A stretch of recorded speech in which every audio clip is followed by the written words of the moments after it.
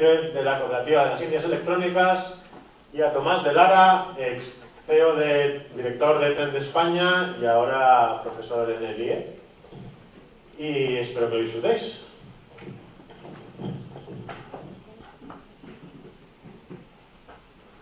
¿Empiezo? Hola, hola, muy buenas.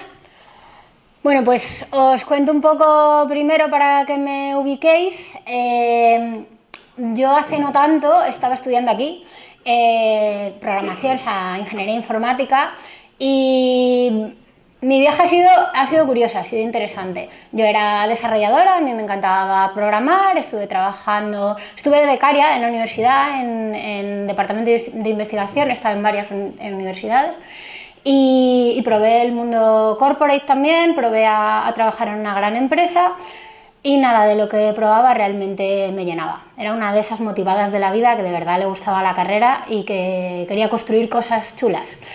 Y bueno, pues por casualidad, en una charla que se montó además aquí en... Ah, no, se montó en la Autónoma, eh, descubrí el mundo de startup. Que bueno, supongo que habréis oído hablar de eso mucho, pero uno de los problemas que tenemos es que eh, se habla mucho, pero mucha de la gente que habla de ello no entiende de lo que está hablando, con lo cual hay mucha confusión sobre lo que es o no es una startup. Entonces os, os, digo, una startup es un proyecto de base tecnológica, innovador y con alto potencial de crecimiento. ¿Eso qué quiere decir? Quiere decir que la tecnología está, lo que se puede hacer con la tecnología está avanzando muchísimo más rápido que la capacidad de la sociedad para absorber esa innovación tecnológica y lo que se puede hacer con esa innovación tecnológica y hay gente, que es la punta de lanza, que se dedica a pensar cómo aplicar esa, innovación tecnológica, esas posibilidades de la tecnología en productos que, que mejoran la vida de la gente o que mejoran la eficiencia mm, de la forma que tenemos de trabajar o de hacer cosas. ¿Eso qué quiere decir? Pues por ejemplo, eh, eh, tenemos a WhatsApp, por ejemplo, que llegó en el momento justo, en el momento correcto. Eh, antes de WhatsApp se hicieron otras apps de mensajería, pero WhatsApp llegó en el momento apropiado. O, básicamente una startup lo que hace es crear ese producto, pero no solamente crear el producto, sino conseguir que tenga una gran adopción. Y normalmente la parte más complicada no es tener la idea, sino conseguir eh, que la gente la quiera usar y entender cómo la sociedad está preparada para usarla. Por eso el timing es, es vital. Entonces, por ejemplo, os pongo, os pongo otro ejemplo.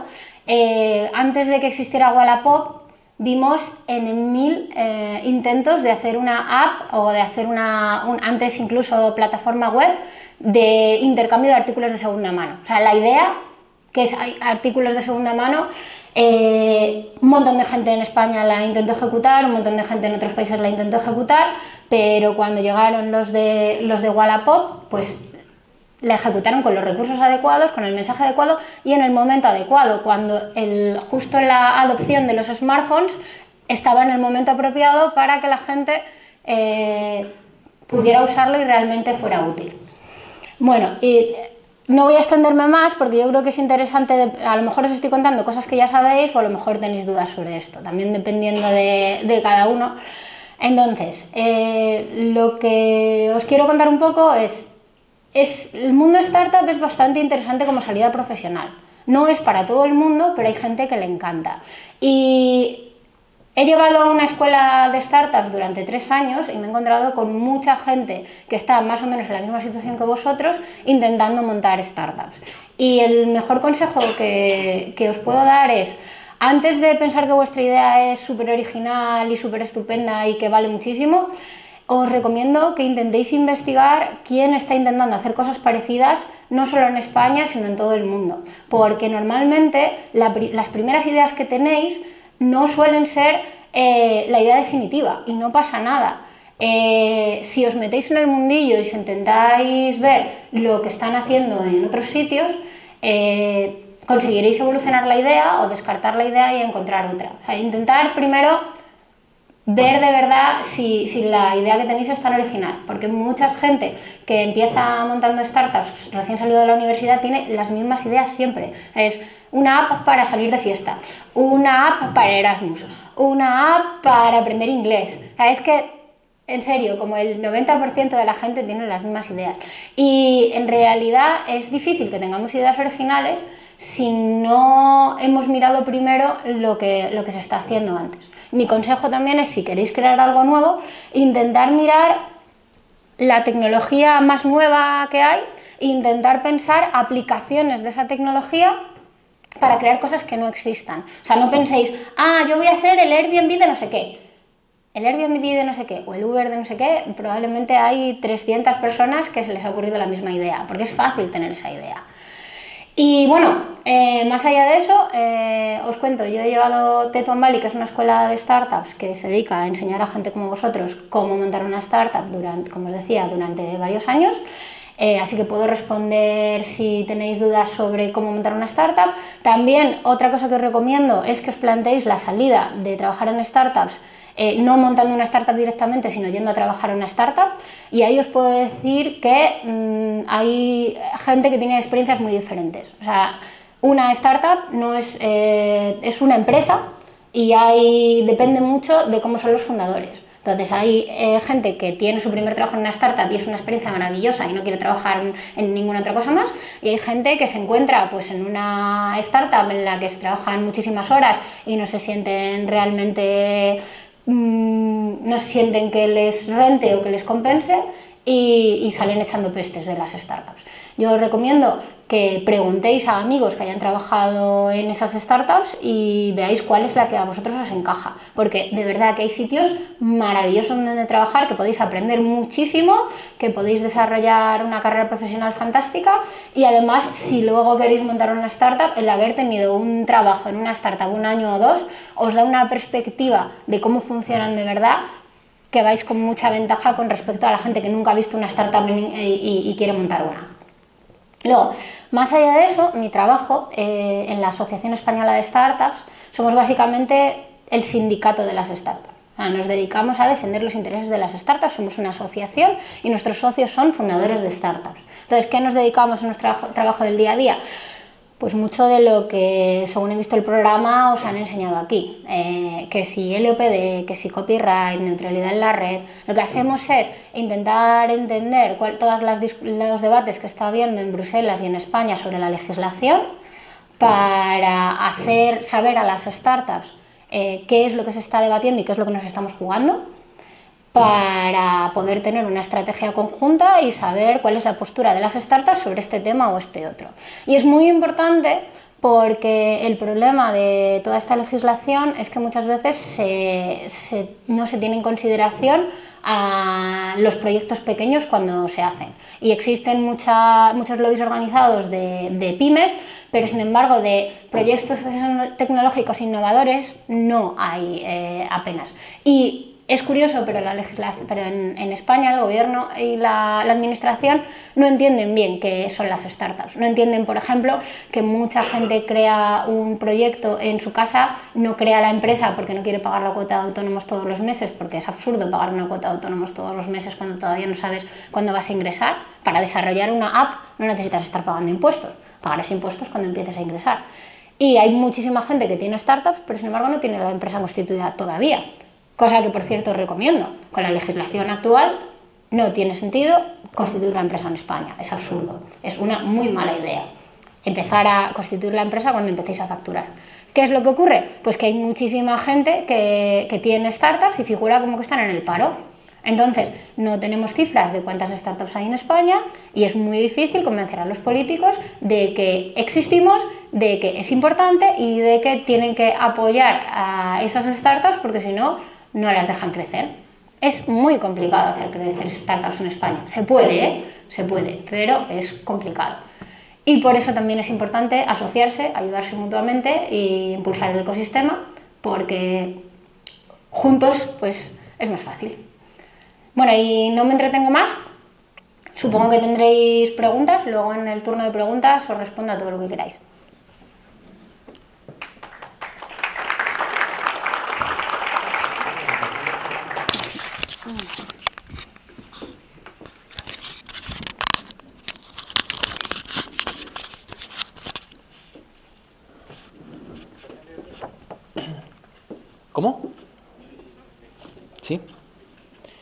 ¿Cómo? ¿Sí? ¿dónde está el clicker?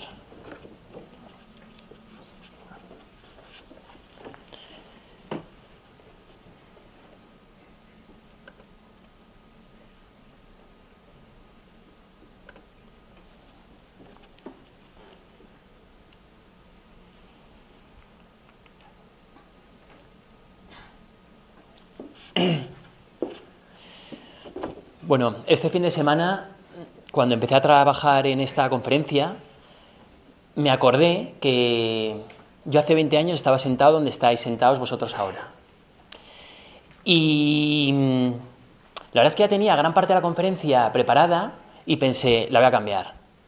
La voy a cambiar porque realmente, cuando vi lo que había preparado, dije, a mí hace 20 años, todo esto que yo había preparado no me hubiera ayudado tanto como lo que os voy a contar.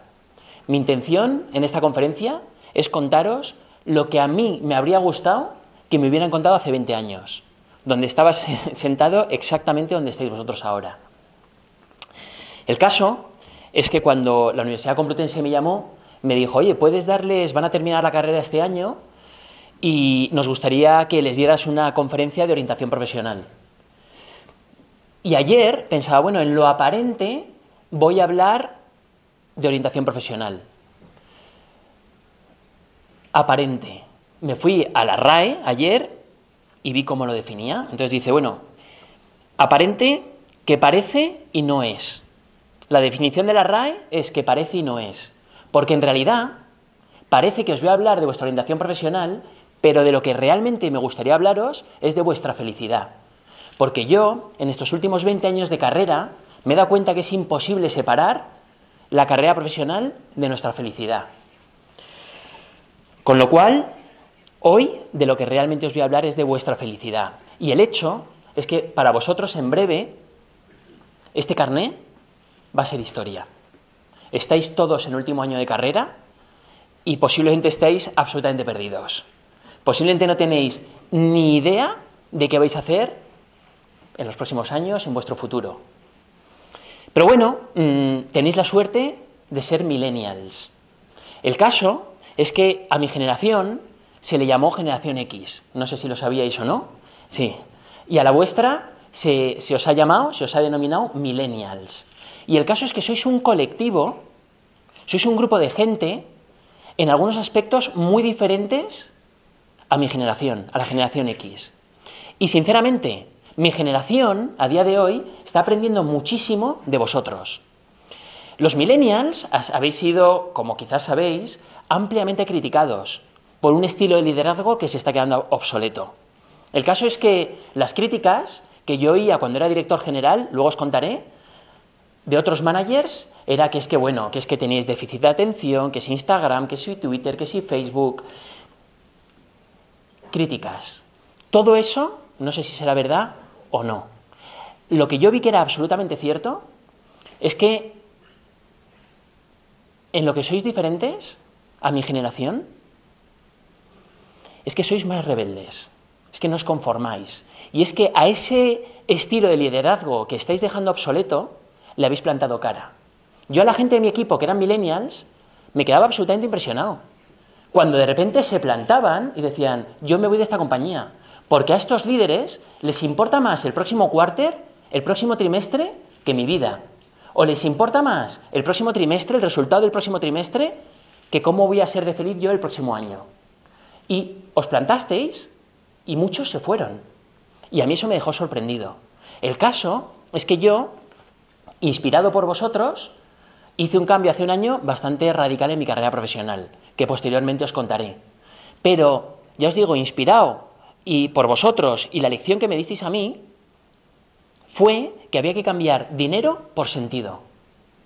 De repente los millennials, esos jóvenes rebeldes que tienen un déficit de atención, que están con Instagram, con Facebook, que, nadie sabe muy bien qué, lo que quieren, que si ya os digo ese estilo de liderazgo, de liderazgo obsoleto clasificaba de ingestionables, de repente yo os veo como que sois la semilla de un cambio profundísimo en la sociedad a través del estilo de trabajo.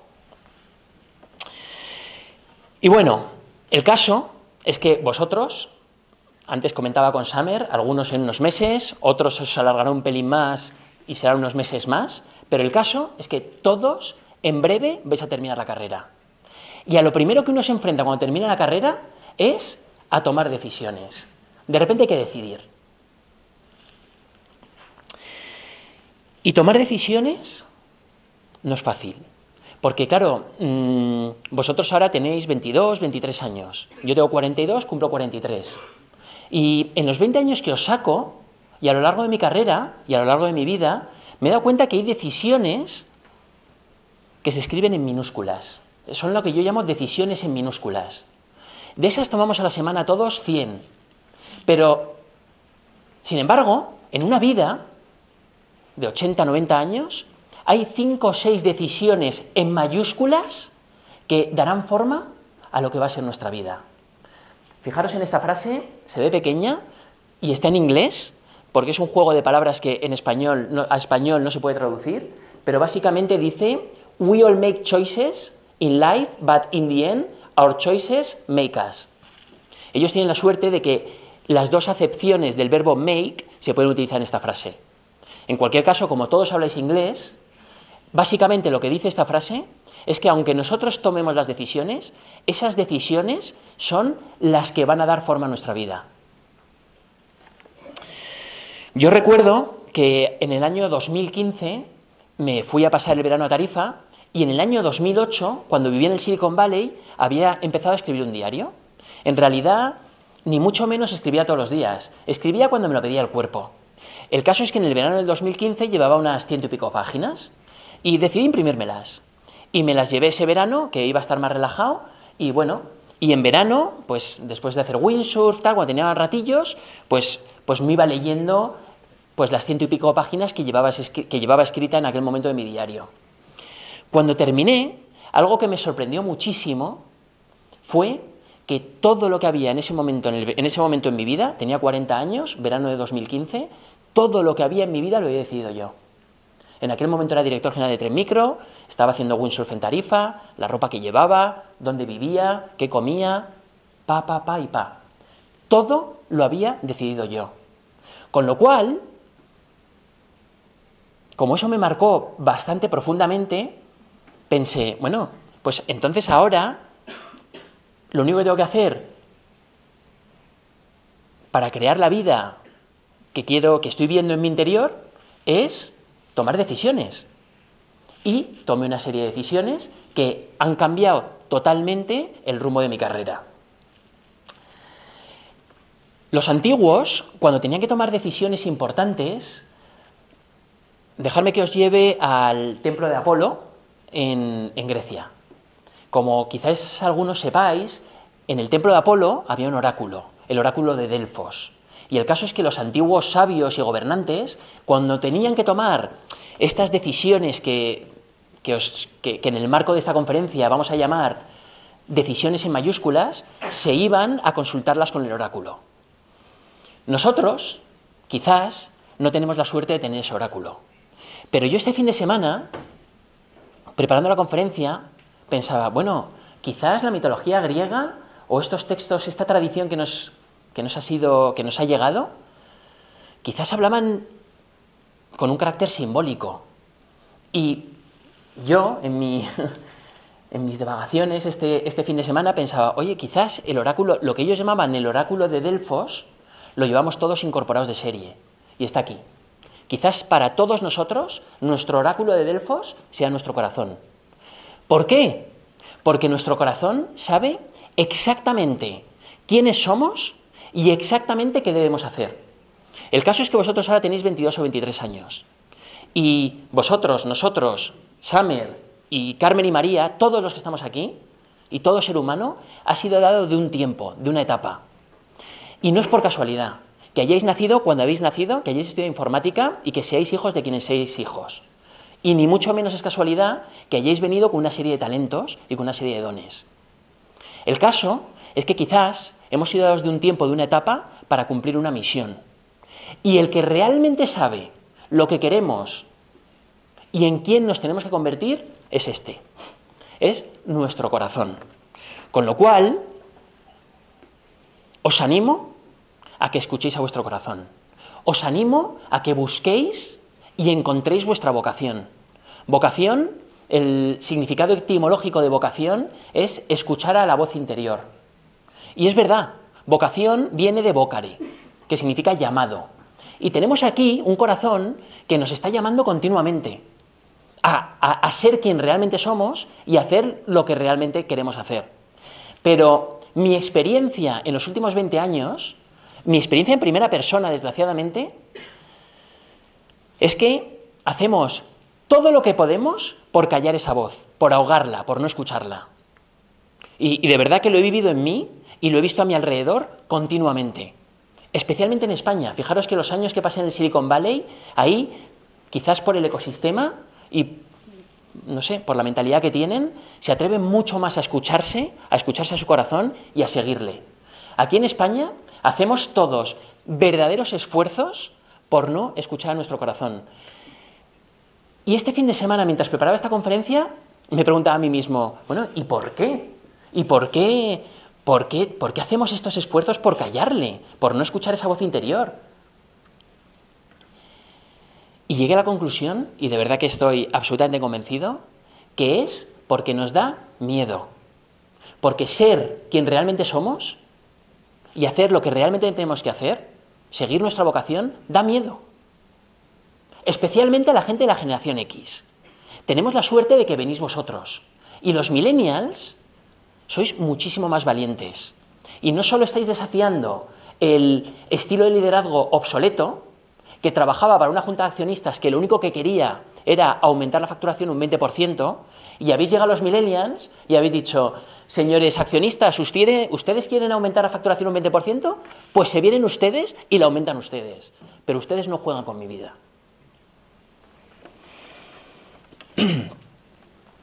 Como luego va a haber un turno de preguntas, dejarme que os cuente también brevemente pues qué he hecho. Yo, básicamente, como os comentaba, estudié en la Complutense, estudié físicas, en aquel momento no había informática en la Complu, me especialicé en cálculo automático, en la rama de computación, luego hice en lo académico, hice un máster en la Politécnica, después, en el tiempo que estuve en el Silicon Valley, mm, eh, hice unos estudios en Stanford de Psychology of Peak Performance, psicología del alto rendimiento, porque toda mi vida me ha interesado mucho el deporte y los equipos, el desempeño en equipos de alto rendimiento. Y en lo profesional, pues empecé a trabajar en Oracle, que ya os digo, terminé la carrera, nunca, nunca se me olvidará, y, estaba absolutamente perdido. No tenía, como quizás vayáis a estar vosotros, no lo sé. Eh, vamos, estoy convencido de que la mayoría de vosotros cuando terminéis vais a estar perdidos porque es lo normal. Y el caso es que, bueno, pues yo empecé a trabajar en Oracle. Después, así las cosas más significativas que hice fue pues cofundar una startup de ciberseguridad. Como decía Carmen, pues el ecosistema que hay en España, en el ecosistema que hay en España quizás es más complicado, con lo cual decidí irme al Silicon Valley, porque vi que había un ecosistema de venture capitalist, de talento, de universidades, de conocimiento, de gente que, que era más propicio para emprender. Y bueno, y después, eh, y ahí estuve unos años, a la vuelta del Silicon Valley, los últimos cinco años he sido director general para España y Portugal de Trenmicro, una multinacional pues, de casi dos billones de facturación a nivel mundial, con lo cual tengo un perfil un poco mixto. He trabajado para empresas cotizadas y muy, muy grandes, y también he trabajado pues, en empresas muy pequeñas. Y de hecho, hace un año desgraciadamente decidí escuchar a mi corazón y os soy sincero cuando os digo que hice verdaderos esfuerzos por no escucharle, porque de repente me empezó a decir, oye Tomás, Tomás, que, que esta etapa, que esta aventura de ser director general de Tren Micro se ha acabado. O, o ya no, ya, ya no quiero, y tú tampoco. Y él me decía, tú lo sabes y tú tampoco quieres. Ya, han sido cinco años muy buenos, pero ya se ha acabado esta etapa. ya tenemos que saltar a la siguiente aventura. Claro, yo en aquel momento tenía una posición en el mercado buenísima, me, hicieron director general con 35 años, era el director general más joven de mi sector, pues tenía una situación económica muy buena y de repente le decía a mi corazón, pero tío, no, no me hagas esto. O sea, con todo el esfuerzo y el trabajo que me ha costado llegar hasta donde he llegado, no me hagas esto. O sea, no me digas que tengo que volver a empezar de cero. Y él se puso pesado y me dijo, toca volver a empezar. Y bueno, pues en eso llevo este último año. Yo lo que realmente quiero ser ahora es conferenciante y profesor. Con lo cual, pues en el último año me he dedicado a dar conferencias por todo el mundo, he dado conferencias en más de 25 países el año pasado, que era algo que, que ni siquiera yo podría haber soñado, y soy profesor del Instituto de Empresa. Con lo cual, pues eh, también os digo que la única fuerza que puede vencer al miedo es el amor. Y suena super cursi, y más si tengo 23 años o 22 años. Pero si queréis cambiar amor por lo que me gusta, lo que me llena, lo que me interesa, entonces, por favor, cuando terminéis la carrera, si lo que os apetece es montar una startup y no cotizar porque todavía no queréis pagar a cuota autónomo, hacerlo. Si lo que os apetece es iros al Silicon Valley y cofundar una startup de ciberseguridad, como hice yo, hacerlo. Si lo que os apetece es dar conferencias, hacerlo. Por lo menos intentarlo.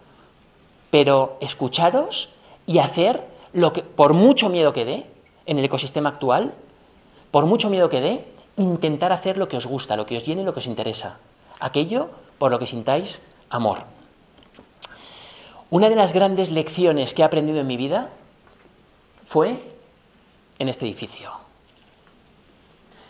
Este edificio, posiblemente no lo conocéis, es el único edificio, bueno, os doy una pista, está en el downtown de Palo Alto y es el único edificio de todo California que tiene siete plantas.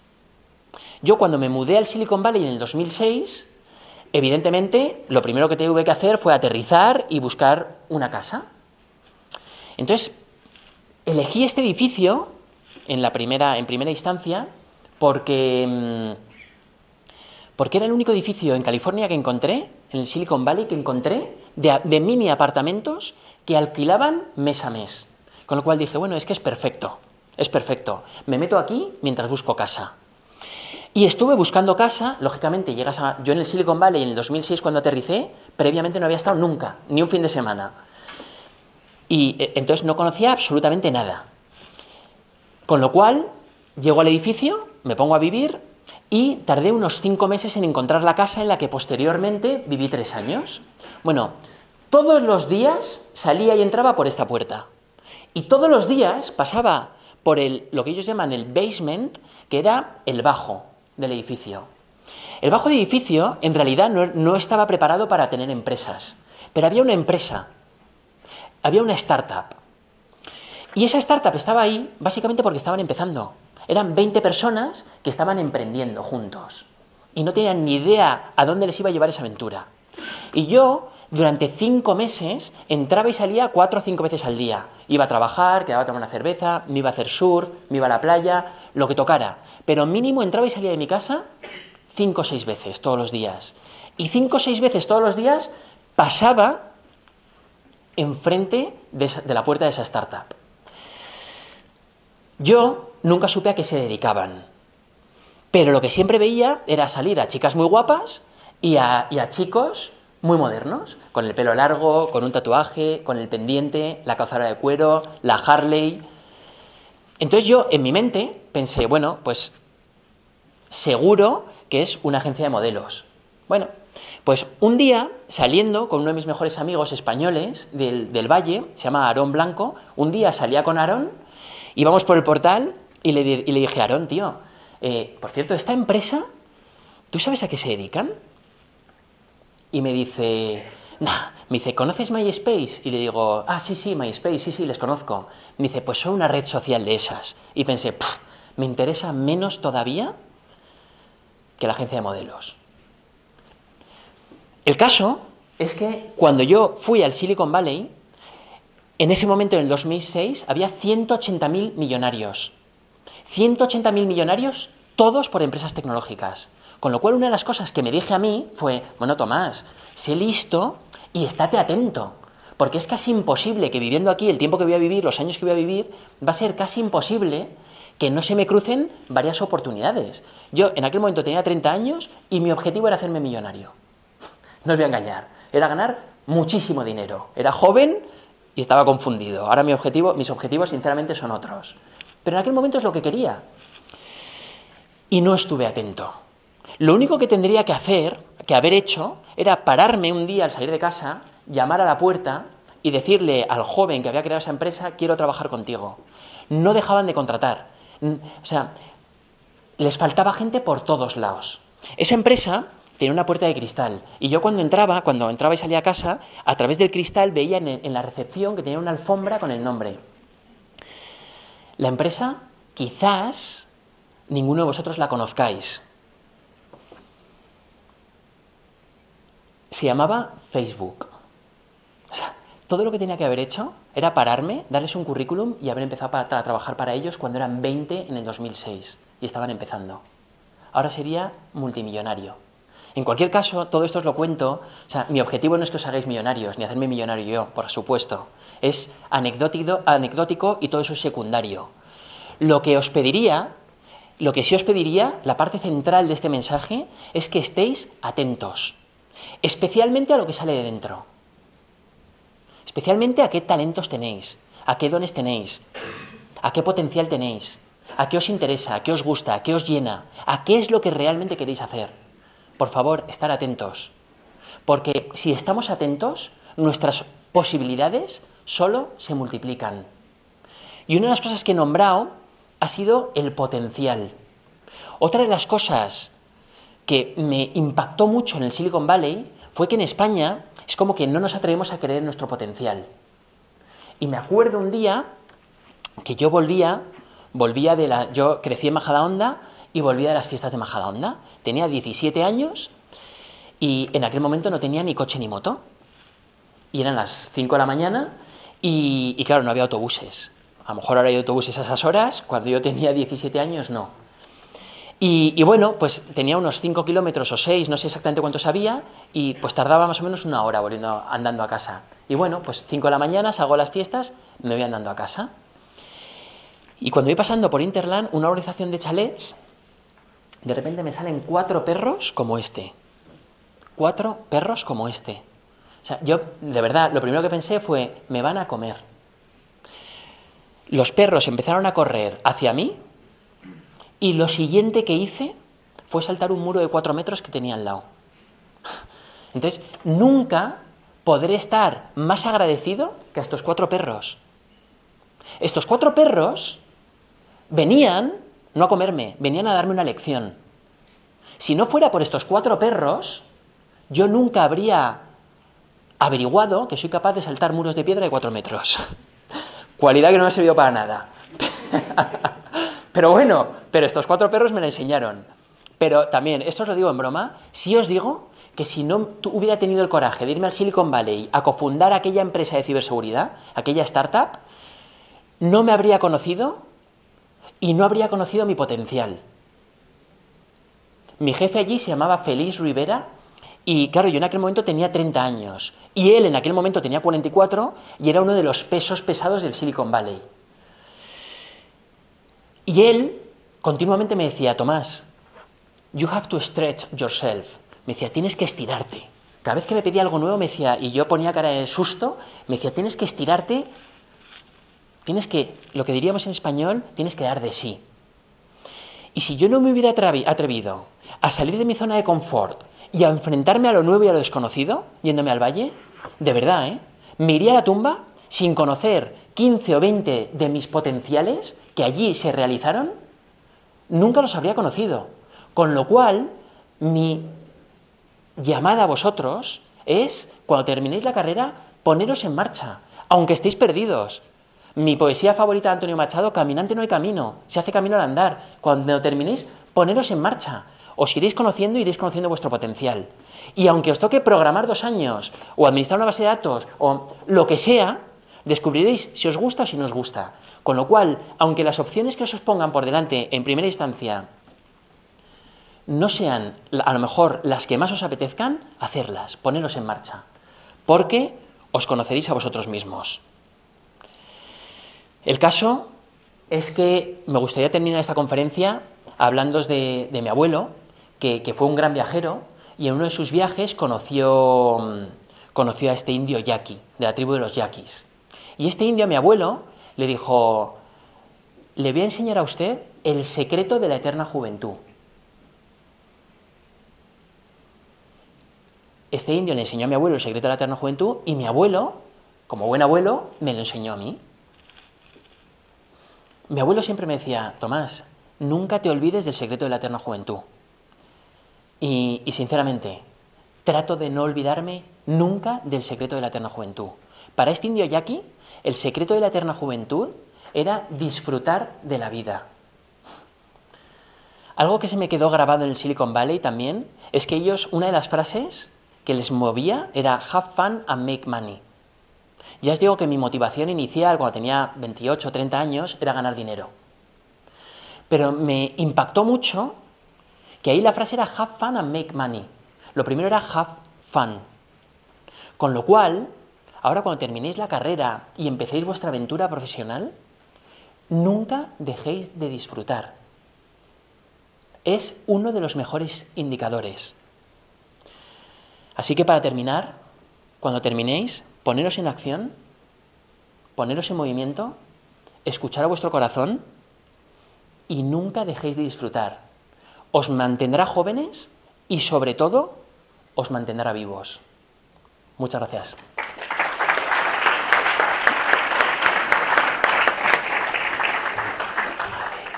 ¿Cuál quieres? ¿Los dos? Este, este es para estar de pie. Ah, pues vale, a lo mejor solo este y, y usas ese. En cualquier lado. Sí. O quizás más cerca. Quizás aquí, más cerca de. Y este lo apago, sí. Porque a lo mejor estás más cómoda con ese, ¿cuál prefieres? Es que hay, este es para que se grabe y el otro es para que se oiga en la sala. Claro, te gustan los dos. Claro, no, pero para la sala puedes utilizar ese en lugar de este.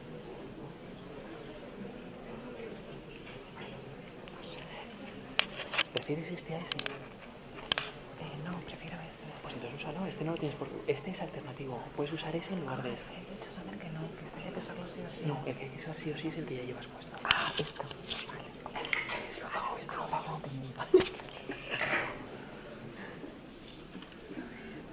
Hola.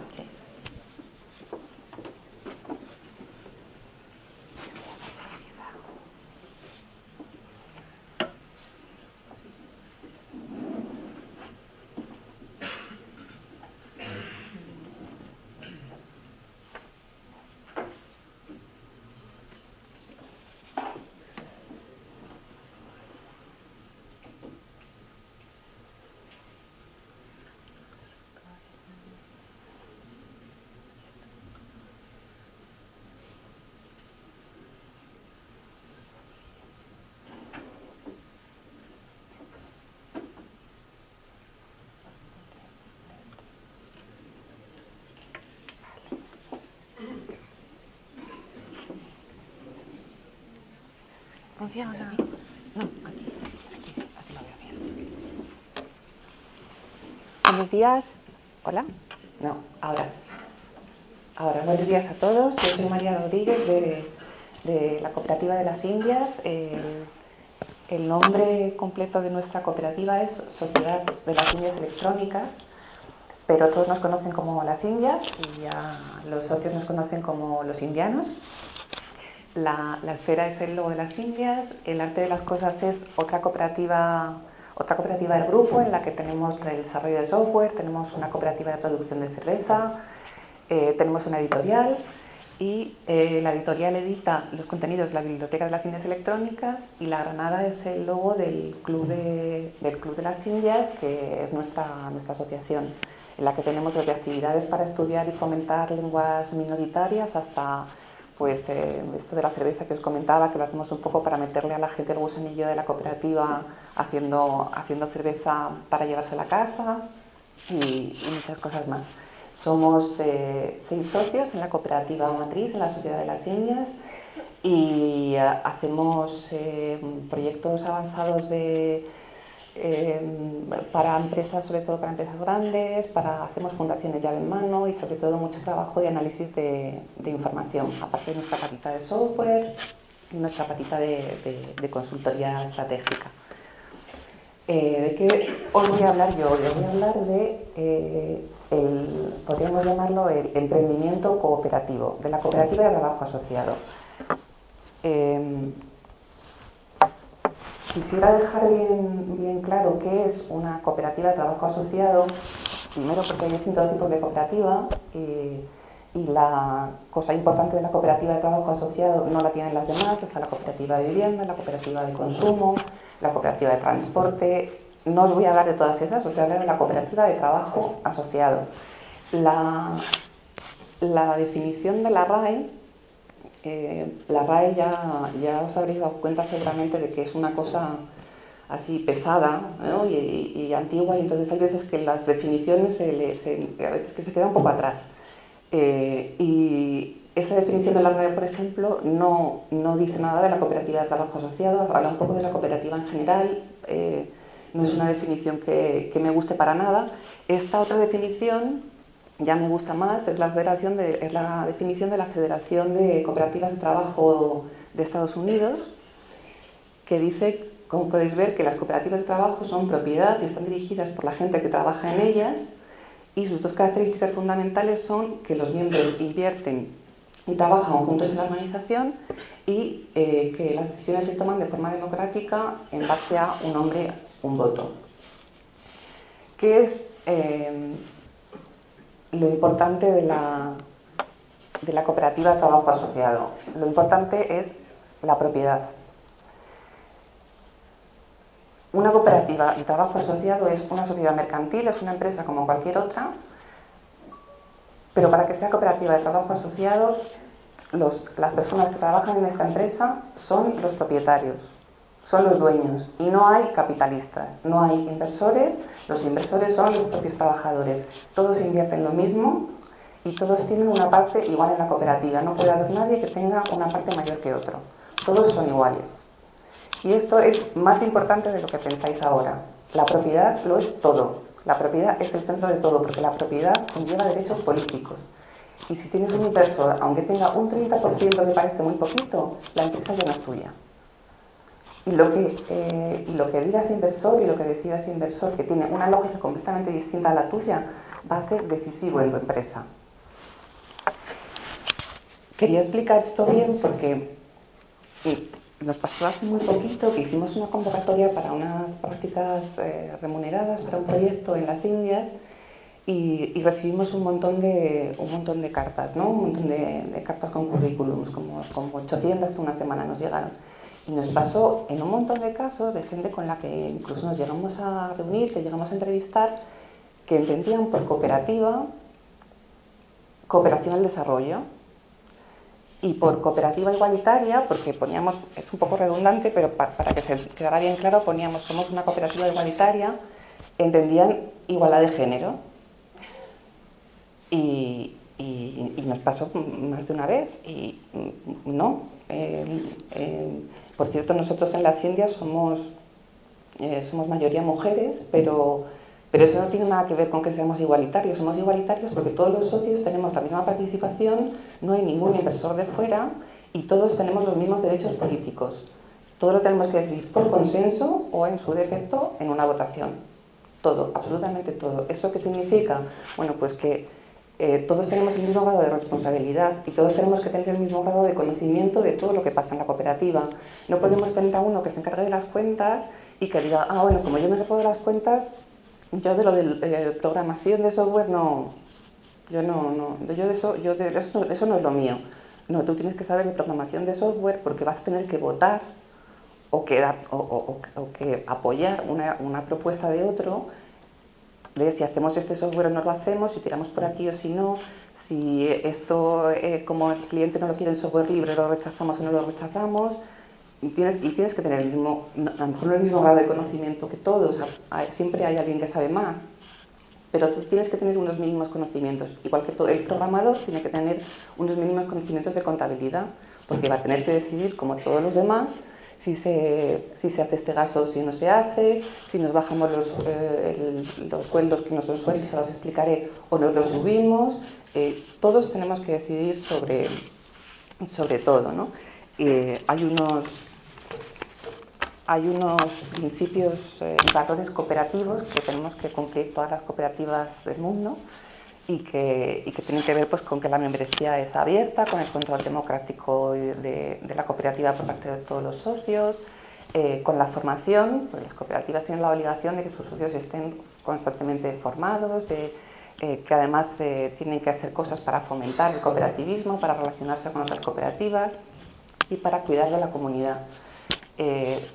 Eh, os decía antes que, la, que, que, las indias somos, mayoría mujeres, pero no porque hayamos hecho ningún plan de género ni ninguna de esas cosas que hacen, que hacen ahora las empresas. En nuestro caso, pues surgió de forma natural y por lo visto es una cosa que pasa en todas las cooperativas, porque en, en las cooperativas en España el 50% de los socios de cooperativas de trabajo son mujeres y yo no conozco a ninguna que haya hecho un plan de género, simplemente la cooperativa tiene una lógica comunitaria y eh, las comunidades en las que todos nos movemos y en las que vivimos, pues tienen más o menos el mismo número de hombres que de mujeres. Y entonces en una, cooperativa que surge de un entorno comunitario, pues va a tener el mismo número de hombres que de mujeres y va a salir solo. No va a, tener, no va a haber que hacer ningún taller, ni ningún curso, ni llamar a ninguna consultora de, de, de género para que eso, para que eso sea, para que eso sea así. Bueno, con esto de que la propiedad es de los, de los trabajadores y de nadie más, eh, bueno, pues, como decía, no hay, no hay capitalistas. Se elimina la figura del capitalista. ¿Para qué sirven los factores de producción? Que ya sabéis que son el capital y el trabajo, eso tenemos todo muy claro. ¿Para qué sirve el capital y para qué sirve el trabajo? El capital sirve para adquirir las herramientas de producción, para comprar las máquinas, para comprar los ordenadores, para eh, comprar las máquinas de coser si es un, si es un telar, eh, para comprar eh, todo lo que necesitas para poner en marcha la empresa. ¿Para qué sirve el trabajo? Para todo lo demás. El trabajo lo hace todo. La producción es trabajo, el trabajo es el que da el valor a lo que producimos, el que hace que de no haber nada pase a haber algo, el que el que transforma la naturaleza, lo que da valor a, nuestro mundo, lo que crea las cosas realmente, es el trabajo. Y entonces, ¿qué, qué, pinta el, el, capital aquí? ¿no? Si el trabajo es todo. Bueno, pues porque tradicionalmente, para dar comienzo, a, para poder trabajar, para dar comienzo a ese proceso productivo, había que comprar pues, las máquinas, hay que comprar una nave, hay que comprar unos materiales de partida, y, eso eh, costaba mucho. Entonces un, los trabajadores por sí mismos eh, no, podían, no podían conseguir eh, el capital para, para, para, adquirir esas herramientas, ni siquiera los grandes inventores del siglo XVIII y XIX, como Torres Quevedo, por ejemplo, Torres Quevedo necesitó un inversor para hacer su máquina de calcular, para hacer su teleférico, necesitaba alguien que le pusiera el dinero porque costaba mucho, los materiales y todo lo que necesitaba para hacerlo costaba mucho dinero.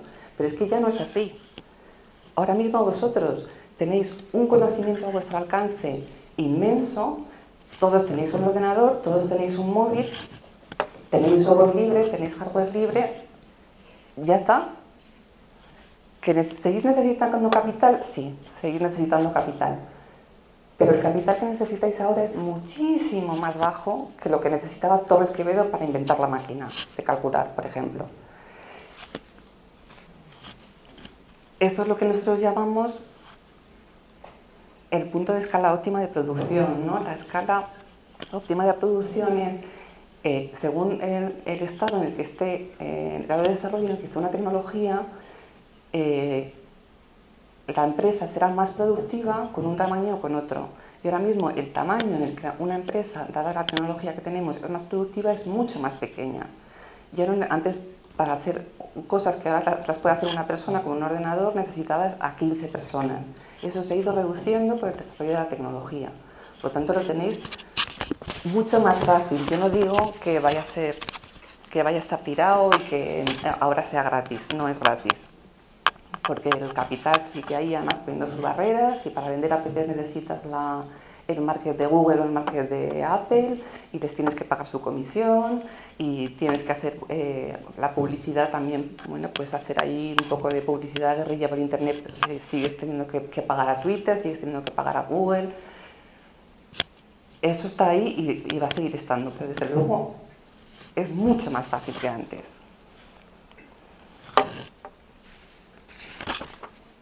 Eh, la semana pasada haciendo haciendo esta presentación, en la carpeta, de, la carpeta que tenía con, documentación me encontré un artículo de 2016, de finales de 2016, de El Mundo, que lo había guardado porque me, llamó mucho la atención. El artículo se llamaba Siete cosas, siete razones por las que emprender quizá no es tan buena idea. Y la periodista además empezaba diciendo que había decidido escribir ese artículo porque por primera vez en un montón de años la encuesta del CIS, me parece que era, eh, en vez de, tradicionalmente decía que la mayor parte de los universitarios querían ser funcionarios y que por primera vez en un montón de años eh, decía que, que, ya no querían ser funcionarios, que ahora querían emprender. ¿No? Entonces, bueno, deberíamos estar, estar, todos contentísimos, ¿no? porque antes nos llevábamos las manos a la cabeza cuando el 70% de los universitarios querían ser funcionarios y ahora es al revés. Oye, pues qué bien, ¿no? Bueno, a la periodista parece que no le parecía tan bien. Bueno, ahora que queréis emprender, ¿no? Decía, pues va a ser que yo diría que no lo hicierais. Un poco raro.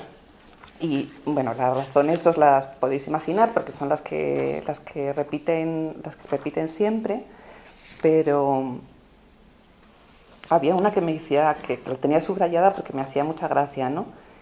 Que era la cuarta. La primera era, bueno, al final el 80% de las empresas se eh, cierran en el segundo año o en el primer año, lo de siempre. Pero la cuarta decía, si tu empresa pasa una mala racha, nadie te ayudará. Y seguía explicando, el ecosistema emprendedor es profundamente darwinista y superficial. Cuando una nueva empresa parece irle bien, todo el mundo viene y los inversores llaman a su puerta. Sin embargo, cuando atraviesa un momento delicado, nadie parece escucharlas. Este comportamiento obedece a la lógica clásica del mercado porque los inversores buscan ganar dinero con tu startup. Bueno, o sea, bien, bienvenida esta señora al mundo real, porque, a ver, o sea, que los inversores cuando a la empresa le va mal se van. Bueno, claro, es que son inversores, no son tu madre, ni son una ONG, ni... Los inversores están para lo que están. Su forma de generar riqueza, en vez de ser el trabajo, que es la nuestra, es poner a producir al capital. ¿Y cómo lo ponen a producir en tu empresa, por ejemplo? Pues en tu empresa te ponen un dinero, se quedan con una parte de la propiedad y o bien, eh, son menos, menos casos, pero, pero, el capital funciona así también, eh, aunque no parezca mentira, obtiene dividendos, es decir, tú de lo que ganas, pues si tiene un 40%, pues el 40% del beneficio se lo lleva todos los años, o lo que hace es que eh, colabora en teoría porque eh, esa empresa se revalorice, valga más, por tanto su 40% valga más y venderlo más caro y ese margen es lo que gana. Es decir, el inversor no trabaja, el inversor pone dinero a producir. Por tanto, esa es, esa es su lógica y así se va a comportar. Y si resulta que, tu, al inversor eh, le sale mejor porque cobra una subvención de no sé dónde, sacar su dinero en, dos años y en dos años tú no has llegado a donde querías llegar, por lo que sea, al inversor te da igual, se va a llevar su dinero. Porque tiene, no tiene, no es esencialmente malo, es así. El capitalista está para que su dinero genere más dinero, no está para que tú seas feliz, ni para que crees más puestos de trabajo, ni, para que cumplas tu sueño. Está... Y bueno, ahí hay un, se supone que un acuerdo, ¿no? De yo necesito inversión, tú quieres poner tu capital a producir, venga, ponme dinero y así yo consigo no sé qué. Es una forma, es una forma de hacerlo, pero desde luego no la forma en la que vas a hacer eh, lo que tú quieres, en la que vas a vivir como tú quieres. El capital tiene su propia lógica, lo que busca es generar más dinero y la lógica, bueno, pues como os decía, desde luego no es la lógica de, de, del fundador, puede serlo si, bueno, el fundador quiere ser también un inversor y lo que quiere es eh, especular con su propia empresa, pero eh, si tú lo que quieres es vivir de tu trabajo, si tú lo que quieres es pasártelo bien, eh, no hacerte millonario, ni, ni, ir de ronda de financiación en ronda de financiación,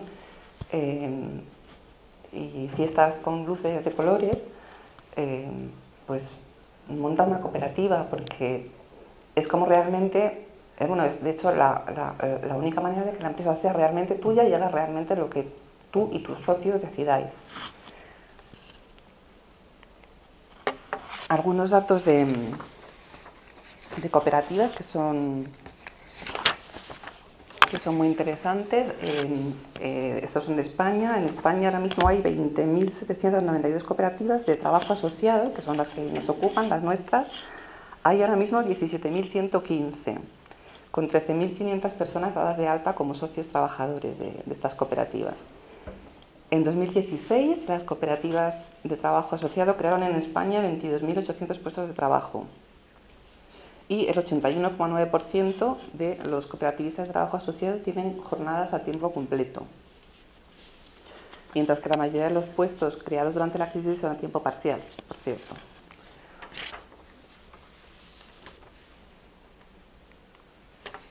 Y de media, el volumen, estos son medias, el volumen de negocio de una cooperativa de trabajo asociado es 1,3 millones de euros anuales entre cooperativas, en este caso de todo tipo, eh, de transporte, de vivienda, de consumo, de trabajo asociado, mutuas y sociedades laborales, sumamos en España eh, el 10% del PIB, 2 millones de trabajadores y el 12,5% del empleo. Y en todo el mundo, 250 millones de personas viven de una cooperativa.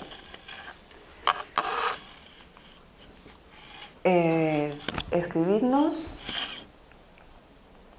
Aquí están nuestros datos para, lo que curáis, para preguntarnos cosas, para consultarnos, para saber cómo montar una cooperativa, em, para contarnos vuestra vida, para, para lo que queráis, para lo que se os ocurra. Ahí estamos para, para vosotros. Muchas gracias.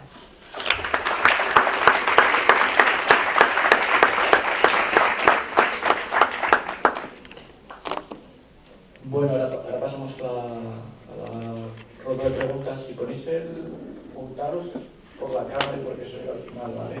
Juntaros un poco, aunque sea con publicidad las Silvia, nada, y ponéis si queréis el micrófono ese en mitad, o lo ponéis. No, lo de los estudiantes en mitad se, se escuchaba bien.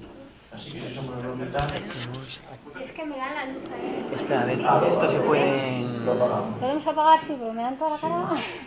okay. A ver. Bueno, mientras tanto, preguntas.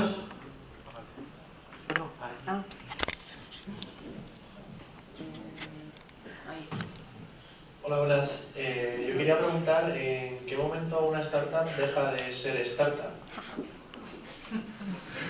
Una, una buena pregunta. Eh, y tenemos mucho debate sobre eso. A ver, una startup tiene diferentes fases y el cuándo deja de ser startup entra a debate. seguro, seguro, seguro es o bien cuando, cuando sale a bolsa o bien cuando la compra cuando la compra alguien. Entonces dejar de ser startup porque formas, pasas a formar parte de una empresa más grande. Eh, ahí seguro. Ahora, hay una fase, eh, a ver, básicamente hay dos fases eh, claves que son la fase semilla y la fase de crecimiento rápido. Entonces, en la fase semilla es seguro que es una startup, si queréis os cuento un poquito lo que es la fase semilla, y luego en la fase de crecimiento rápido, pues hay quien mm, lo debate si se considera ahí startup o no. En mi opinión, cuando estás invirtiendo, o sea, cuando todos los ingresos que tienes, los, o casi todos, los inviertes en crecer y no eres una empresa estable, que tu principal objetivo es mantener la máquina en movimiento, sino que tu principal objetivo es crecer y expandirte, sigue siendo startup también depende de a quién le preguntes. Y la fase semilla, si queréis que la explique, eh, ¿quién ha hecho la pregunta? Por cierto, que me está dando la... ¿Quieres que explique también la fase semilla? Vale, a ver, eh, es muy diferente en lo que es una startup en la fase semilla que en la fase de crecimiento. La fase semilla, eh, que tiene dos, dos, partes, una es cuando tienes la idea y tienes que validar la idea, tiene, tú crees que hay un producto que va a interesar a la gente. tu objetivo como startup es crear un producto eh, escalable. ¿Vale? Entonces, eh, estás validando que realmente hay interés, que realmente hay una necesidad y que tal y como tú tienes planteado ese producto o aprendes cómo, qué versión de ese producto puedes implementar, que realmente tenga una adopción y que, que realmente sea interesante y que la gente lo quiera usar y que sea viable técnicamente. Luego, una vez que ves que es viable técnicamente y de verdad la gente lo quiere usar, lo que tienes que validar es si es rentable. O sea, si el dinero que te cuesta adquirir usuarios y dar ese servicio eh, es mayor que, o sea, es menor que el, el, dinero que al final acabas ganando. Y esas son dos métricas que se llaman eh, eh, coste de adquisición de cliente y lifetime, y lifetime value, que es el... Entonces, tienes esas métricas y una vez que tienes un producto funcionando que de verdad tiene potencial de crecer, que de verdad adquirir nuevos clientes te cuesta mucho menos que el, el dinero que te va a, a, dar esos clientes, pues entonces ya estás listo para la fase de crecimiento rápido. Y la fase de crecimiento rápido, eh, bueno, hay dos formas de hacerlo. Hay una forma que es eh, la, que, la que explicaban antes, la de conseguir capital, que te inviertan dinero. Entonces dices, tengo una máquina de hacer dinero, méteme dinero aquí, que voy a crecer y te voy a dar mucha pasta. Pues ahí vas a Venture Capital para que te inviertan. La otra fase que se llama, la otra forma que se llama bootstrapping eh, es eh, vivir de tus propios ingresos. Hay gente que hace eso, es mucho más complicado y no siempre se puede hacer. Eh, pero es una opción interesante y es una opción a tener en cuenta y eso sí sería compatible con tener una cooperativa. Porque, aquí explicar una cosa, creo que es súper interesante montar una, una cooperativa cuando, tienes, cuando estás eh, haciendo un trabajo de consultoría, es genial y la verdad es que es una gran opción cuando estás montando una startup es más complicado. Y es más complicado porque te encuentras con que eh, tienes gente compitiendo contigo que tiene acceso a Venture Capital que eh, te va a sacar la delantera. El problema que tenemos cuando, y tengo, conozco bastante gente que tiene startups y no quiere recurrir a, la inversión y es un problema que tenemos y es un problema real tú estás compitiendo con gente a nivel mundial y hay muchas veces que te encuentras que estás peleando con palos y piedras cuando, tu, cuando tu competencia tiene mm, tanques. Y es así, te encuentras que tienes startups españolas que tienen eh, a lo mejor eh, un, millón de, un millón de capital para, para poder gastar y tienes a tu competencia que tiene 40 millones. Y bueno, pues aunque tú hayas sacado el producto antes, aunque tu producto sea de mayor calidad, si ellos tienen un montón de dinero para, para crecer, eh, te encuentras con que te toman la delantera. Y el problema es que cuando se trata de innovación tecnológica, eh, el que consigue eh, ganar la carrera normalmente es el que ya una vez que estás ahí es más difícil, es más difícil desbancar. O sea, le puedes desbancar cuando creas otro producto, otro producto más innovador, cuando vas a la siguiente, a la siguiente fase de innovación. Pero es muy complicado, eh, es muy complicado una vez que has ganado, alguien ha ganado la carrera, el intentar competir con ellos. Yo creo que, que en realidad la clave está en lo que has dicho al final. Eh, si hay otro que ha llegado antes, bueno, pues tendrás que inventarte otra cosa, pero eso no tiene nada que ver con ser cooperativa o no. Las cooperativas ahora mismo son igual de competitivas que cualquier otra empresa. Estados Unidos está lleno de cooperativas. No el mundo industrial ¿Eh? está lleno de cooperativas eh, también. Cada vez hay más cooperativas de servicios y no tienen ningún problema de, de competitividad con, con, con startups. No, no, no está no estaba hablando de, cooperativas, estaba hablando de aceptar dinero de los Venture Capital. Que estoy de acuerdo contigo, que una vez que aceptas dinero de los Venture Capital, eh, el, el, problema que tienes es que los, el, el, la inversión del capital, es que tenías toda la razón. O sea, los inversores lo que quieren es recuperar su dinero. Entonces, si tú tienes una startup y aceptas Venture Capital, eh, tu objetivo va a ser o salir a bolsa o vender la empresa porque es la forma que tiene el Venture Capital de recuperar esa inversión. Y ellos tienen unos tiempos, tienen unos tiempos de cuatro años, eh, ellos tienen un, si queréis, si, alguno, si os interesa, os puedo contar cómo funciona, eh, pero ellos tienen cuatro años para sacarle rentabilidad a su fondo y si aceptas ese dinero, sabes al juego que estás jugando. Si no aceptas dinero de Venture Capital, pues puedes eh, hacer eh, ese ingreso, o vivir de tus propios ingresos y reinvertir tus ingresos en crecer y de esa manera mm, no, no puedes a lo mejor tener una empresa para vivir de ella, no para venderla. Que es una forma, que es una forma muy válida. Lo que estoy diciendo es que no siempre se puede y es una pena que no siempre se pueda, pero es así. Sí, en cualquier caso, ¿se me oye? ¿Funciona este micrófono? Sí. Ahora. En cualquier caso, eh, tenéis la suerte de haber estudiado una carrera y estar en un momento que la barrera de entrada para vosotros para emprender o para uniros a una startup mm, o sea, para emprender no con vuestra propia startup, sino para uniros a una, es absolutamente único. A mí me dais envidia.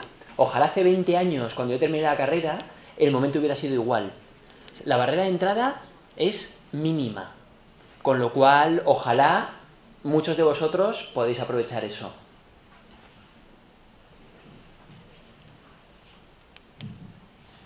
Hola, yo tenía dos preguntas y una era para ti y otra era para Tomás. Y voy a empezar por Tomás. Primero de todo, decirte que me ha gustado mucho lo que has dicho y se nota que se te da bien la orativa. Y mi pregunta iba sobre todo porque has dicho que deberíamos, por así decirlo, tirar para adelante, o sea, arriesgarnos. En mi caso me preguntaba si cuando fuiste a Silicon Valley el dinero de, para el piso y para pagarte todo salió de tu bolsillo o tenías una financiación por detrás como pueden ser padres, por ejemplo. Claro. Eh, buena pregunta. Porque bueno, los padres, la familia, en una fase muy, muy inicial, pues bueno, pero luego ya para abrir una startup en Silicon Valley o, eres hijo de, bueno, no voy a decir nombres, o tienes unos padres muy, muy potentes, o va a ser muy difícil. Entonces, mm, en nuestro caso fue bootstrapping, eh, la estrategia que, gracias a Dios, conseguimos clientes, teníamos una idea y un producto muy, muy innovador y conseguimos clientes muy rápidamente en España, clientes muy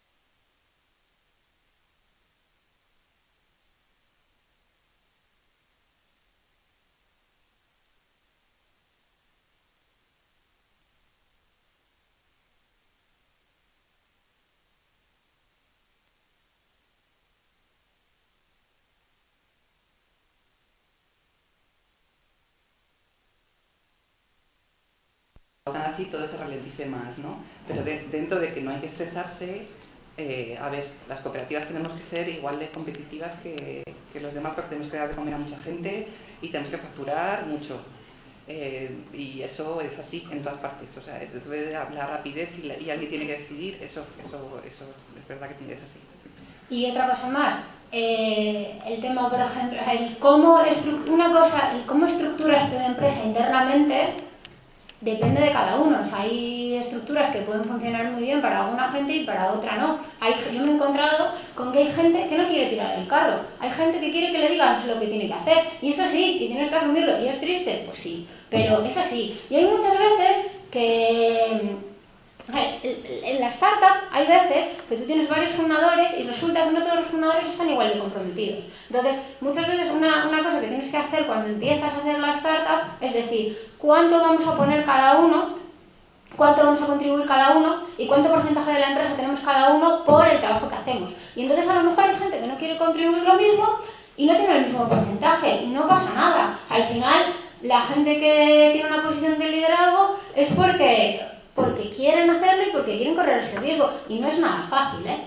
No es nada fácil estar en esa postura. Pero, oye, hay startups que funcionan exactamente igual que una cooperativa, que tienen el mismo porcentaje todo el mundo de la empresa, pero es triste asumir que hay mucha gente que no quiere eso y no pasa nada. O sea, si hay gente que quiere que le diga lo que, quiere, lo que tiene que hacer y no tener que preocuparse de dónde va a venir el dinero todos los meses, está en su derecho y está bien. Pero es un tema muy complejo y yo creo que es una cosa que os tenéis que plantear. ¿Qué, qué queréis? ¿Qué queréis hacer con vuestra vida y qué esquemas funciona y qué esquemas no funciona? Y lo mejor que podéis hacer es probar diferentes cosas. Probar a trabajar en una cooperativa, probar a trabajar en una startup, probar a fundar una startup, probar diferentes cosas. Eh, pero eso sí, no entréis en una startup y juzguéis a todas las startups por esa startup, ni entréis en una cooperativa y juzguéis a todas las cooperativas por esa cooperativa. Informaros bien, hablar con gente que esté trabajando ahí, probar diferentes cosas. También a lo mejor en diferentes épocas de vuestra vida eh, queréis hacer cosas diferentes y está bien también. Eh, hola, mi pregunta era para Tomás. Ah. Y era cómo conseguiste adentrarte en Silicon Valley con el tema de los visados y todo eso, porque no sé en aquella época, pero hoy en día no es tan sencillo como coger las maletas y voy. Eh, Sí, sí, efectivamente, efectivamente. Ese es un, ese es el gran tema. Pero, claro, como mm, allí, mm, bueno, es que se han dicho muchísimas cosas, eh, muchas negativas, muchas positivas, y bueno, eh, vosotros si seguiréis haciendo vuestra composición de lugar, pero una de las cosas que tienen los americanos es que, bueno, ahí Carmen ha dicho que ahí también todo funciona en base a las relaciones. Yo creo que las relaciones en, en- en- en cualquier vida son fundamentales y somos un ser de relación, un ser de encuentro como humanos. Pero os aseguro que en el Silicon Valley eh, lo que funciona es el valor. O sea, tú te sientas a la mesa y les da igual cómo te llames, cómo te apellides, es qué pones encima de la mesa. Y de verdad que lo viví, ¿eh? Lo viví. Entonces, el gobierno americano, eh, que, pues bueno, que, que bueno, que también, pues sinceramente, hay gente también brillante, pues, pues también son muy buenos en eso. Con lo cual, si tú les planteas un proyecto empresarial, les, les presentas un business case que tiene sentido y que va a crear, va a crear, mm, va a generar riqueza a través de impuestos y a través de contratar a gente, te dan una visa. Eh, te dan una L1A, una L1B. ¿Vale? Entonces, eh, esto es un tema de mentalidad. Yo, sinceramente, me daría mucha pena eh, que el tiempo que tenemos, el, el- el tiempo tan sumamente limitado que tenemos aquí, pues al final girara todo en torno a si crear una cooperativa o crear una startup. Que creo que no sería vuestra idea inicial. Ninguno habéis venido hoy pensando, a ver si me resuelven el coloquio de hoy, si creo una cooperativa o creo una startup.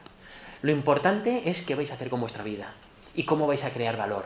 ¿Vale? Entonces, conoceros, pensar qué es lo que realmente queréis hacer y ya veréis dónde lo hacéis. Y sobre todo, todo el mundo empresarial, todo el mundo empresarial gira en torno al valor. Que luego hay tópicos, y ese es el hijo de fulanito, y ese no sé qué. Bien, perfecto. Pero de verdad, ¿eh? Todo el mundo empresarial gira en torno al valor. Entonces, conoceros, ver qué valores tenéis. Ahora, pues yo hablo en público, pues yo hago no sé qué, pues yo programo como Los Ángeles, pues pa, pa, pa y pa. ¿Vale? Y en función de eso, dejaros guiar un poco por la vida. ¿Vale? Y a lo mejor descubrís que, saltáis muros de cuatro metros. ¿Te he respondido?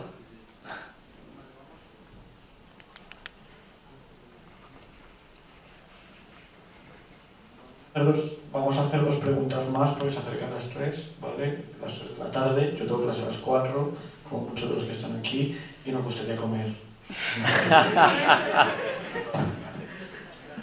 Buenas, mi pregunta era para Tomás. Eh, a ver, la cosa es, me ha faltado una cosa en tu exposición y es la cultura del fracaso que se tiene en Estados Unidos, que es completamente diferente a la que se tiene en España. El otro día en clase hablábamos de entrevistas de trabajo y tal, y sin duda alguna en Estados Unidos no te hace la pregunta de cuántas veces has fracasado, pero en, esta- en España, o sea, lo hacen en el sentido positivo, pero en España nos lo hacen en el sentido negativo. ¿Cómo podemos dar la vuelta a eso? Claro, pues eh, claro, me has, has empezado la pregunta diciendo te ha faltado una cosa y, sinceramente yo me preparé muy bien, tal, no sé cuántos, y de la conferencia que preparé ayer a la que os he dado hoy son totalmente diferentes. Con lo cual a mí me falta el 90% de mi conferencia, pero bueno, me suele pasar a menudo. Em, en cualquier caso, mm, se me ha olvidado tu pregunta. Cultura del fracaso. Ah, la cultura del fracaso, perfecto.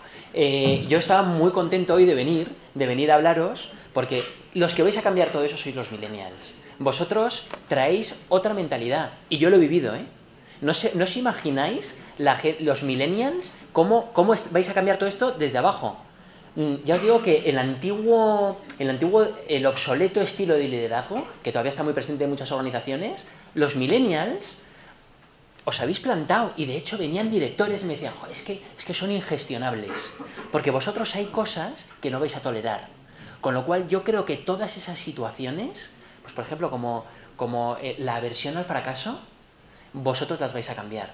Mira, yo nunca hubiera sido director general de Tren Micro para España y Portugal con 35 años si no hubiera pasado por la experiencia que pasé en el Valle que desde una mirada, antes nuestro compañero de la cooperativa eh, hablaba de que él tenía otra mirada. Y efe- efectivamente, en la vida hay muchas miradas. Entonces, desde una mirada, podríamos decir, joder, este hombre se fue, a- se fue a Estados Unidos y se volvió y había fracasado. Se fue a hacerse millonario a vender su empresa y no lo consiguió.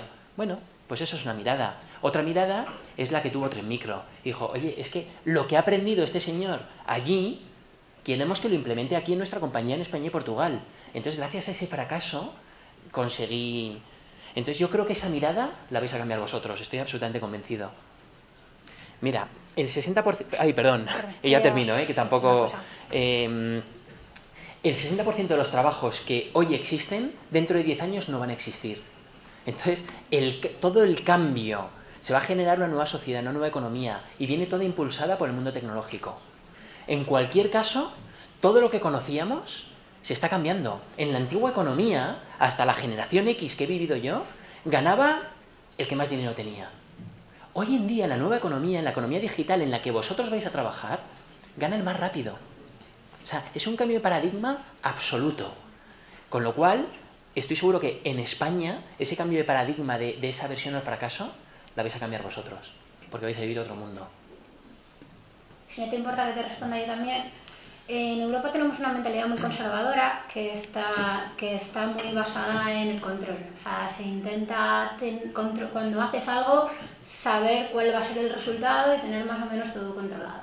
Entonces, las empresas, por ejemplo, incluso la- las instituciones públicas, sus criterios de selección a la hora de contratar eh, servicios externos o eh, contratación pública, las, todo, esto, eh, todo eh, está encaminado a limitar el riesgo.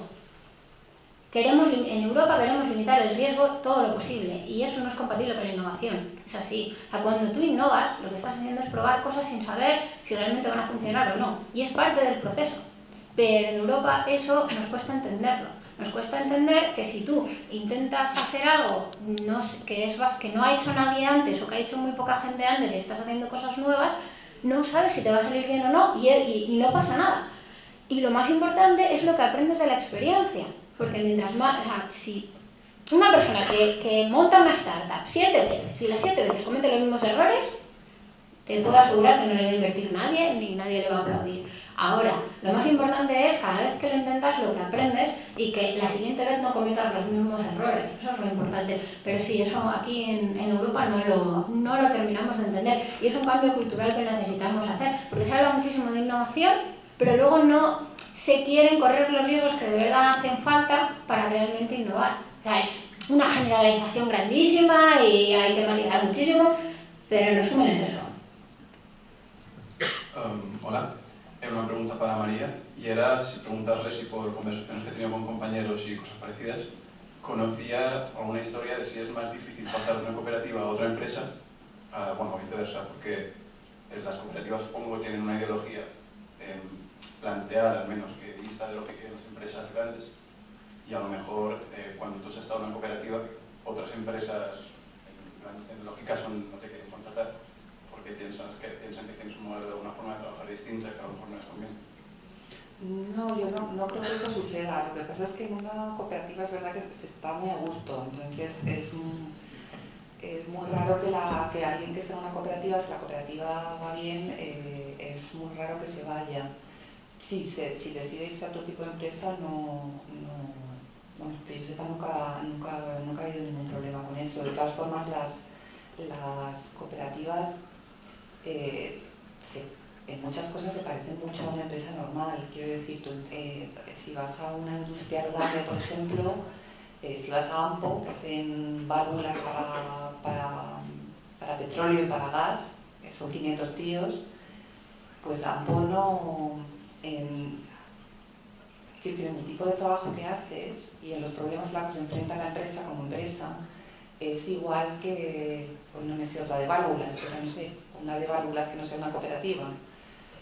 Lo que es diferente es que hay un sentimiento de pertenencia, es decir, el señor que está ahí dándole a, a, la máquina herramienta para pulir el acero y que salga la válvula, eh, está haciendo su válvula, no está haciendo una válvula para su jefe, ni está haciendo una válvula para, para, para los dueños de la empresa, está haciendo una válvula para sí mismo y sabe que si la hace más mejor o más rápido, pues seguramente en vez de venderle solo a Shell, le va a poder vender a Shell y a Halliburton el año que viene y entonces cuando le vendamos a Halliburton ya bueno, no, vamos a petar porque vamos a, vamos a, vamos a tener cuatro pagas extras, no, seis. Y ya está pensando en lo que le va a comprar al niño y en el viaje que se va a pegar con la mujer, porque tienes mucho, mucho más poder de, de influir en cómo va tu empresa cuando es tuya. Y así es difícil en una empresa de 500, ¿eh? o sea, cuando es tan grande eh, es, es, complicado como cualquier empresa de 500 personas que además tiene eso, que competir con, con fabricantes de válvulas todo el mundo. María, Pero ahí están. Dale el ejemplo de Caro, por lo ideológico es verdad, nosotros tenemos ahora una, una socia que es socia de la, es socia de la cooperativa y eh, está en comisión de servicios, vamos a decir, en el gobierno argentino. Eh, ella nació allí, ella, ella se crió en Argentina y cuando cambió el gobierno hace dos años, pues eh, bueno, surgió la oportunidad de, de ocupar un, alto cargo en el Ministerio de, Asuntos Sociales primero, eh, pues que nos iba a permitir hacer cosas muy chulas a nivel país, además un país enorme como es Argentina. ¿no? Y ella lleva allí dos años y fue al revés, ¿no? En su, en, su caso, ya la que está en, un, en, la parte de, educación, llevando a las escuelas de la provincia de Buenos Aires, eh, fue un valor. Fue un valor además, influyó mucho en que, en, que que le dijeran, por favor, por favor, vente con nosotros, aunque solamente sea una legislatura, ¿no? Porque porque bueno, pues en una, en una cooperativa eh, aprendes eh, los valores cooperativos y aprendes también los valores empresariales y aprendes cómo funciona el mercado y cómo te tienes que pelear en el mercado con los que son más grandes que tú y aprendes a resolver un montón de cosas. Eh, entonces tienes las dos patas, digamos, ¿no? Tienes una pata más comunitaria y tienes una pata también eh, comercial y empresarial. Entonces, en el caso de Caro fue un, vamos, no solo no tuvo ningún problema, sino todo lo contrario, sino que además fue un valor y la querían a ella más por eso. O sea que no, problema cero. Que a mí me gustaría también comentar que, pues por ejemplo, hoy se está hablando mucho de cooperativas y de startups. Yo estoy pensando ahora, según escucho, que yo tra trabajando en las dos multinacionales salvajes que he trabajado, en Oracle y en Tren Micro, también me lo he pasado fenomenal. O sea, eh, he viajado por todo el mundo, he trabajado con equipos de, de 700 regiones diferentes, eh, no sé, también ha sido una experiencia vital súper rica, ¿vale? O sea que esto lo digo para que, para que por lo menos os vayáis con la idea de que podéis emprender, podéis ser una cooperativa, podéis ser una multinacional, podéis, si tenéis suerte, vivir de vuestros padres hasta que viváis de vuestros hijos. Yo qué sé. O sea, que no hay bueno o malo, ¿vale? Que cada uno, caminante no hay camino, se hace camino al andar y cada uno iréis encontrando vuestro camino. Pues nada, muchas gracias eh, a los tres por venir y contarnos vuestras dificultades.